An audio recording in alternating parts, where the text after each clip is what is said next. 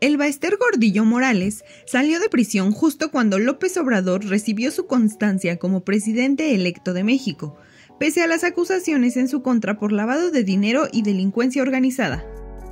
Logró formar y registrar un nuevo partido político, nombrado Partido Redes Sociales Progresistas, de la mano de su yerno Fernando González Sánchez. De acuerdo con Educación Futura, Gordillo Morales se reactivó en el sector educativo para el ciclo escolar 2020-2021 por medio de su reincorporación al Centro de Trabajo Administrativo para Personal Comisionado al CENTE. Y por si fuera poco, presumió en redes sociales que siguen válidos sus derechos políticos, ciudadanos y sindicales, pese a los cinco años que estuvo en prisión.